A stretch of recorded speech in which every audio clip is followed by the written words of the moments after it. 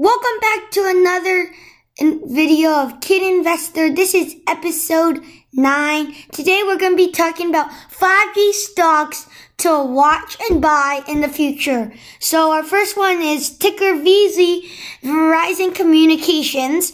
Uh, this is at 57 and 74 cents today. So um, I think this is a good stock just because as you can see it's very stable and I think 5G will bring in more revenue and by 2021 uh, America thinks that 80% of Americans will have 5G phones. But if you don't want to wait that long, you also can buy this as a dividend stock. Let's go to the dividends. As you can see, the dividends um, Eat, eat every stock gives you $2.46 a year. That's a lot. Uh, the growth is not the best. The dividend growth is okay. Now, um, let's get into our second one. Our second one will be ticker TMUS T-Mobile. Okay.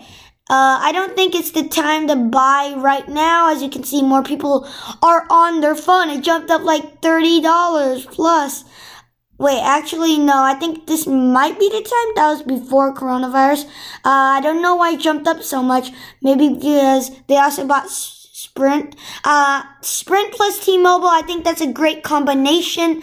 Um, I think they will get uh, most of the 5G uh, phones, networks. So I think this might be one of the best stocks we have. So I think this is a definitely a buy. As you can see, it's heading up even. So let's get into our last one. This one's not really a provider, but it's no Nokia stock. And you guys are probably wondering, why are you picking Nokia stock? Well, Nokia stock, as you can see, it it's it's hasn't moved a lot. Let's go into six months chart. It didn't. It's back up. Okay, so this is the reason why I think you should buy Nokia for the long term. So as you can see in this article, it says T-Mobile and Nokia have formed a new 3.5 billion partnership to speed up deployment of the next generation 5G wireless network. So that means T-Mobile has Sprint and they teamed up with Nokia to help speed up the process. So that means people who use Sprint are paying to T-Mobile. And also people who use T-Mobile are also paying them. And also to help make it, to help T-Mobile to go ahead of their competitors, they're using Nokia. So I think this is a, one of the best, the, maybe the best 5G stock that you can buy.